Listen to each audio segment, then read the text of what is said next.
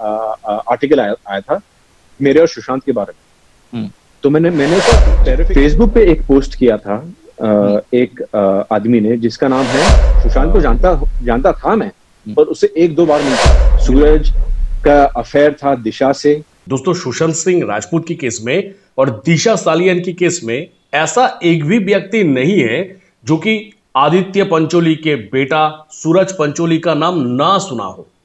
पर सूरज पंचोली, जब उस टाइम पे, यानी सुशांत सिंह राजपूत की केस होने के बाद, कई जगह पे, कई सारे इंटरव्यू के माध्यम से, वो ये खुलासा करने की कोशिश किया था कि सुशांत सिंह राजपूत की केस हो चाहे दिशा सालियन की केस हो कोई भी केस के साथ, उसका किसी भी तरह का कोई भी कनेक्शन नहीं है, बल्कि उसका दावा तो यह भी था कि वो सुशांत सिंह राजपूत की एक बहुत अच्छा दोस्त है। और सुशांत और दिशा के केस में उनका जो छवि बन गया था लोगों के सामने तो उस छवि को धोने के लिए वो पहुँच गए थे वॉशिंग मशीन चैनल पे, यानी आज तक पे। और आज तक के सामने जाके वो कोशिश किया था कि कैसे अपने आप को सही दिखाया जाए। पर आज की वीडियो के ज़रिए मैं आपको वो नहीं दिखाऊँगा, बल्कि मैं आपको यह दिखाऊँगा कि सूरज पंचोली कैसे ऑन द कैमरा झूठ कहा था हम लोगों के सामने, और झूठ जो है डेफिनेटली उसका कोई प्रूफ आप लोगों के सामने रखना होगा, तभी जाके उसको आप झूठ कह सकते हैं। तो वो प्रूफ भी मैं इसी वीडियो में आप लोगों के सामने रखूँगा। तो वीडियो जो है, वो बहुत इंटरेस्टिंग होने जा रहा है, क्योंकि सूरज पंचोली की जो पर्दा है, उस पर्दे को मैं खींच के उतरने वाला हूँ इस वीडियो पे। तो वीडियो को जरा से भी स्किप मत करिएगा। चलिए डायरेक्टली हम एंटर करेंगे। सूरज पंचोली की दिया हुआ उस इंटरव्यू पे। सूरज बहुत सारी बातें हुई आपके बारे में। बीजेपी के लीडर है नारायण राणे उन्होंने भी ये बोला कि एक पूछना जाना चाहिए कि तेरह जून को आपके घर में एक पार्टी हुई थी वहाँ पे बहुत पावरफुल हम्म। लोग थे। क्या जवाब है इसका? कौन थे आपके घर पे? क्या पार्टी हो रही थी? सुशांत सिंह राजपूत के साथ क्या कनेक्शन है? क्या वहाँ पे कोई बड़े पॉलिटिकल लीडर्स थे? बॉलीवुड के कौन कौन थे? ये आपको उनसे पूछना चाहिए कि उनको ये बात किसने बताया? क्योंकि नारायण राणे सर कह रहे हैं कि मेरे घर पे शायद से पार्टी हुआ था तो दोस्तों, अभी तक जितना दूर आपने सुना उस जगह पे बात किया जा रहा है कि नारायण राणे ने क्लेम किया था उस टाइम पे कि आदित्य पंचोली के घर में, यानी सूरज पंचोली के घर में पार्टी हुआ था। और जिस पार्टी में आदित्य ठाकरे शामिल थे, यहाँ पे कहा जा रहा है ना कि एक मंत्री का बेटा या फिर ऐसा कुछ तो वो लोग बातें जो है बातें को ऐसे घुमा घुमा के कर रहे थे, किसी का नाम डायरेक्टली नहीं ले रहे थे। तो जो मंत्री का जो बेटा का नाम जो आ रहा था उस टाइम पे, वो आदित्य ठाकरे ही था। तो नारायण राणे की तरफ़ से ये क्लेम था कि सूरज पंचोली की पार्टी में आदित्य ठाकरे शामिल था, आदित्य ठाकरे आया था। और सूरज पंचोली का कहना है कि वो ऐसा कोई पार्टी ना तो हुआ है, ना तो उसको ऐसी कोई पार्टी के बारे में कोई जानकारी है जो कि उनके घर में हुआ है। बात जो है बात एकदम सही है। ये जो प्रोपोगेंडा फैलाया गया था उस टाइम पे ये बस और बस किसी को कुछ भी पता नहीं जहाँ पे कहीं पे अगर थोड़ा सा व्हाट्सएप पे कुछ मिल गया सुनने को वो चलो लगा दिया लोगों के सामने कि ये ये ये, ये हुआ था। किसी ने अगर मानिए कि फेसबुक के ज़रिए कुछ कह दिया सुना देखा चलो उसको भी एक हाईलाइट करके लोगों के सामने कह दिया कि ये हुआ था वो हुआ था यानी किसी के पास कोई भी पुख्ता सबूत नहीं है। अगर नारायण राणे को कहा जाए कि क्या आपके पास क्या सबूत है? किस सबूत के आधार पर आप कह रहे हैं कि सूरज पंचोली के घर में पार्टी हुआ था? क्या जवाब देंगे नारायण राणे? क्या कोई जवाब है? अब यह वीडियो देख के मत सोचिएगा, एक रत्ती भर के लिए भी मत सोचिएगा कि इस वीडियो में आदित्य पंचोली की बेटा, ये हरामखोर सूरज पंचोली को मैं कहीं पे भी सपोर्ट करूँगा, पर लॉजिकली और लीगली बात करूँगा। तो मेरा एविडेंस के साथ अगर बात कहना हो तो बात यही कह रहा है कि सूरज पंचोली के घर में कोई पार्टी हुआ नहीं बस ये एक ब्लाइंड आर्टिकल था उस टाइम पे। मेरा कोई कनेक्शन है सुशांत की एक्स मैनेजर दिशा से या सुशांत से? तो पहली बात मैं ये कहना चाहता हूँ कि ये सब जो न्यूज़ आई है या अफवाह ये जो लाइन है कि मेरा कोई कनेक्शन नहीं है सुशांत की एक्स मैनेजर दिशा से या फिर सुशांत से। तो इस जगह को लेके ही सबसे बड़ी प्रॉब्लम है कि किसने कहा कि दिशा सुशांत सिंह राजपूत की एक्स मैनेजर थी? सुशांत सिंह राजपूत की एक्स मैनेजर तो दिशा सालिया नहीं थी। फिर भी इस टॉपिक को लेके ये कह रहे और साथ ही साथ इनका कहना यह था कि सुशांत के साथ इनका वैसा कोई रिलेशन नहीं था। यानी पार्टी में आने जाने वाला ऐसा कोई रिलेशन नहीं था।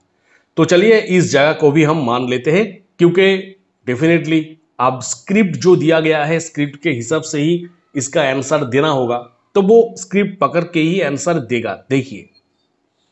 मैं आपको मैं आपको बताता हूँ ये कहाँ से शुरू हुआ। ठीक? है जी जी। फेसबुक पे एक पोस्ट किया था एक आदमी ने जिसका नाम है Puneet Vashisht. Okay? Puneet Vashisht is an actor he has done a couple of films before I I keep seeing him in Juhu because I used to live there earlier.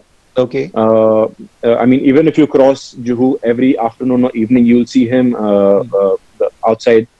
तो अभी तक जो सुना आपने तो इस जगह पे सूरज पंचली का कहना है कि इनके ऊपर जो भी ब्लेम आया था वो पुनीत वशिष्ठ की तरफ़ से आया था और नारायण राणे की तरफ़ से आया था और बाकी का जो बात वो कह रहा है वो हर एक जगह पे हकला रहे कोई भी बात ठीक तरीके से वो नहीं कह पा रहे वो थोड़ा सा आप कह सकते कि डिस्टर्ब है क्योंकि जो क्वेश्चन उनको कर दिया गया है डिस्टर्ब तो होना ही चाहिए।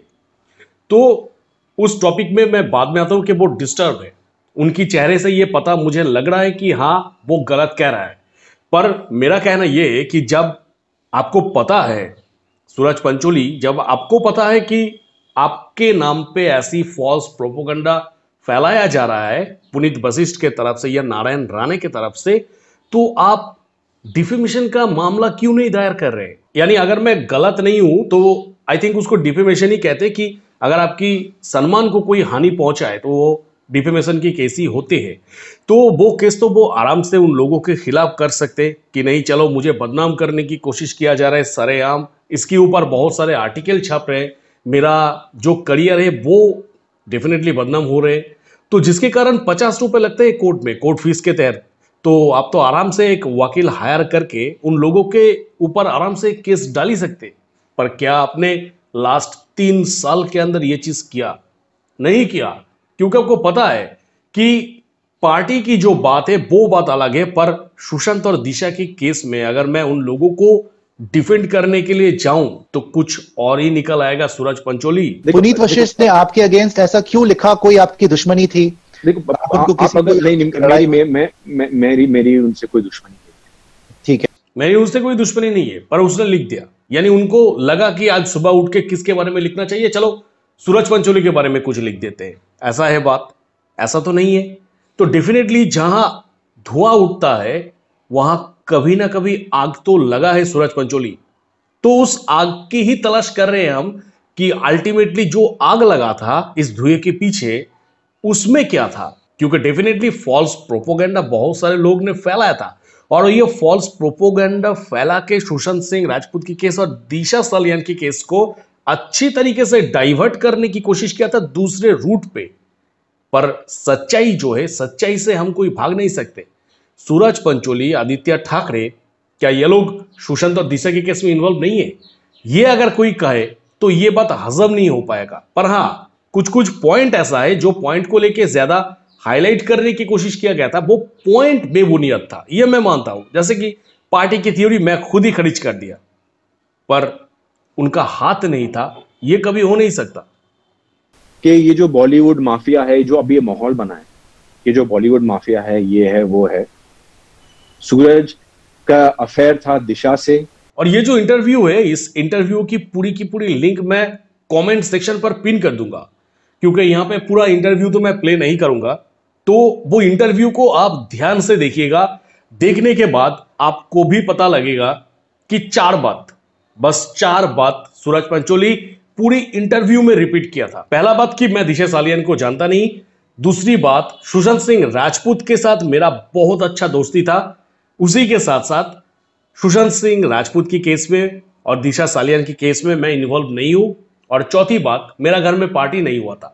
तो ये जो चार पॉइंट उनको आज तक के तरफ़ से दिया गया था कि तू यही पढ़ता रहना, मैं कुछ भी सवाल करूँ तो यही लेके घसीट देना इसके अंदर, यही डाल दे। तो वो इंटरव्यू जब आप देखेंगे तो आपको क्लियरली तरीके से पता चल जाएगा कि ये जो भी बात कह रहा है, वो स्क्रिप्टेड बात है, क्योंकि एक ही बात को बार बार बार बार दोहराया जा रहा है, जो भी क्वेश्चन किया जा रहा है, वही सेम आंसर दोहराया जा रहा है। किसी को भी समझ में आ जाएगा ये बात। यानी ये तो एक्टर जो है, ये एक एक्टर तो घटिया है ही और साथ ही साथ उसी घटिया एक्टिंग वो आज तक चैनल पे भी आके करने की कोशिश कर रहे हैं। सुशांत को जानता जानता था मैं हम्म। पर उससे एक दो बार मिल चुका मिला हूँ मैं।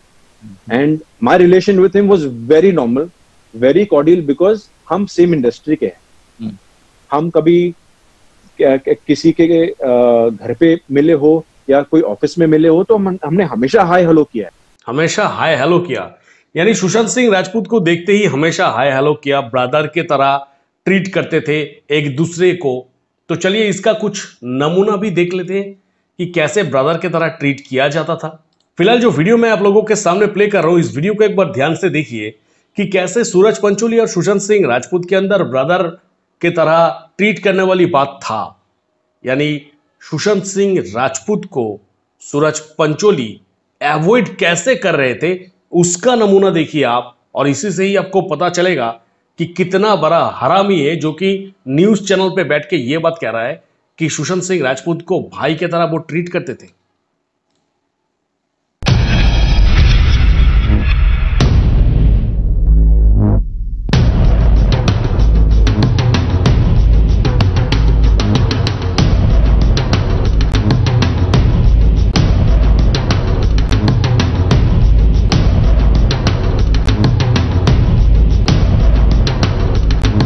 सुशांत सिंह राजपूत बगल में खड़ा है, यानी उनका भाई मुँह बोली भाई, बगल में खड़ा है, पर फिर भी सब किसी को वो हग कर रहे सब किसी से बात कर रहे सुशांत सिंह राजपूत को भाव नहीं दे रहे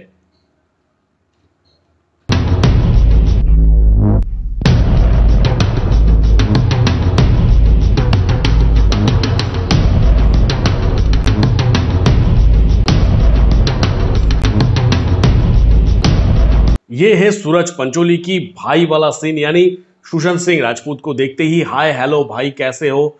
तो ये वाला सीन है ये, यानी कैमरे के सामने कुछ, कैमरे के पीछे कुछ।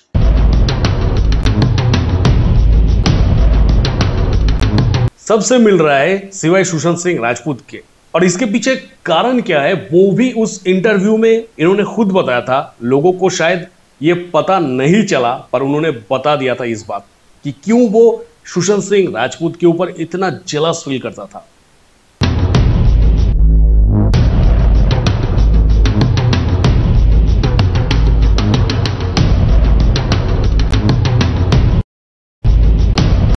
आई थिंक दोस्तों आप लोगों को समझ में आ गया है।